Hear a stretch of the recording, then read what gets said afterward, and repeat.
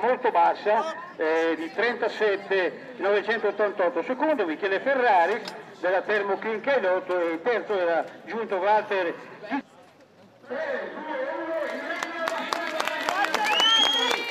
per questo decimo Memorial Montanari per Fulvio Stivardi alla memoria.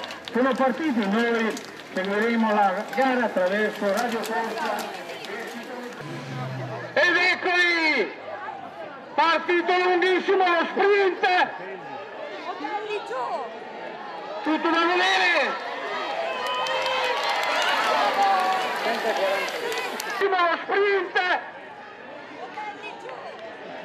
Tutto da vedere!